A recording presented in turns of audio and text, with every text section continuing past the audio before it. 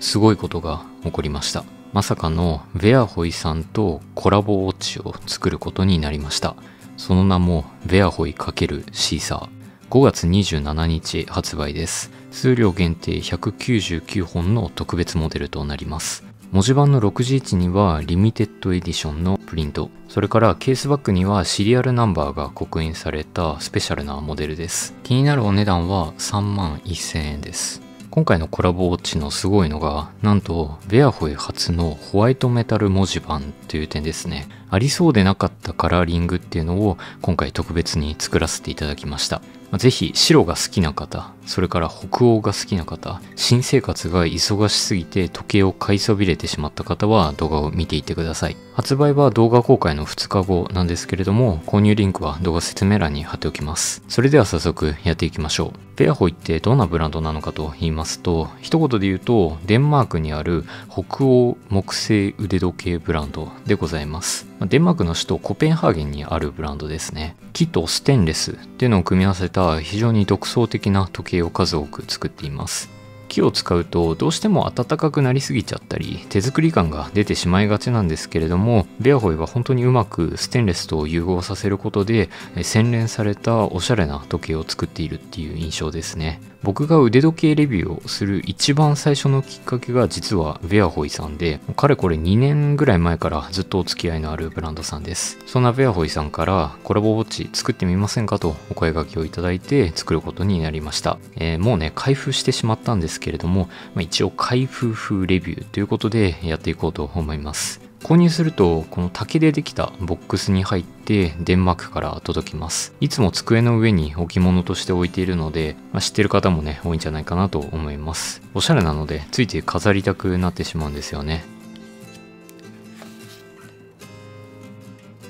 こちらがフェアホイ×シーサーのコラボウォッチでございます。フェアホイは文字盤全体に木が使われたモデルっていうのが、まあ、メインなんですけれども今回は文字盤にはホワイトメタルが使われていてベゼルにさりげなく天然のくるみ材っていうのを配置したモデルとなっております。ホワイトのペイントではなくてホワイトメタルを採用しているということで文字盤よく見ると金属の光沢感っていうのが非常に上品なんですよね。針はガンメタルカラーにしてメモリはブラックを採用しました。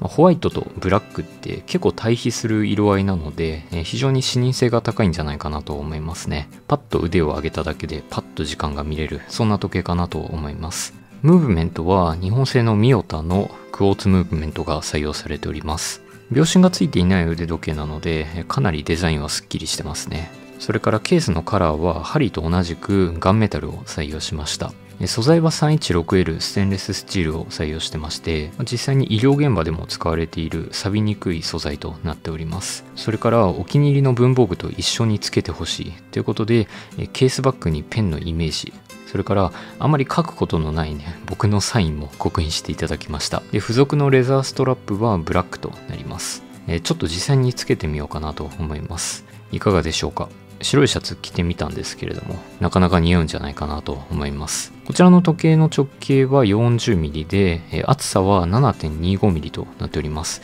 結構小ぶりなサイズですね。自分は結構腕細いんですけれども本当に収まりのいいサイズ感で細腕の方でも全然使っていける時計かなと思います。でケース全体が円形になっているので非常にねすっきりとしたフォルムなんですよね。ちらっと見た時のベゼルのウォールナットがすごく癒しですね。まあ、木軸のペンと同じで、やっぱり木が使われているとそれだけで愛着が湧きますよね。一つ一つ木目も違ってくるので、まあ、そういう唯一無二のデザインっていうのも楽しんでほしいなと思います。でここからはちょっとした裏話なんですけれども、今回コラボするにあたってどういう流れでこの時計が誕生したのかっていうのをお話ししていこうと思います。流れとしては、まず最初にベアホイさんからコラボしませんかというお声掛けをいただきました。で、それでまあぜひということでコラボすることになったんですけれども、そこから打ち合わせをして、どういうことができるのかとか、いつ頃発売したいかとか、まあそういうお話をしました。で、それを踏まえて5種類のデザイン案っていうのを作っててそれを提出しました文字盤とかケースとか針の色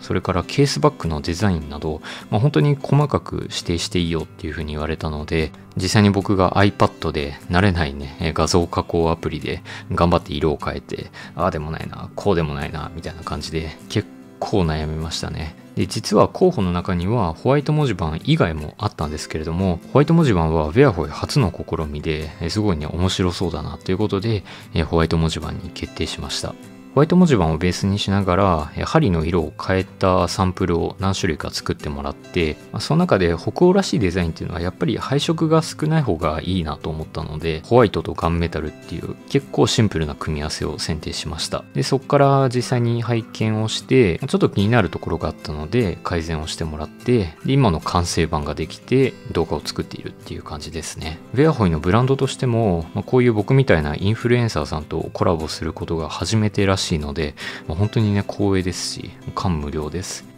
もし今回のモデルが好評だったら、第2弾とか第3弾もやっていきたいねっていうお話をしてますので、ちょっとだけ楽しみに待っていただけると嬉しいなと思います。ベアホイさんは他にも素敵な時計たくさんラインナップしてますので、ぜひ動画の概要欄から公式サイトの方を見ていってください。ということで、今日の動画は以上となります。最後までご視聴いただきありがとうございました。ではまたお会いしましょう。ご視聴ありがとうございました。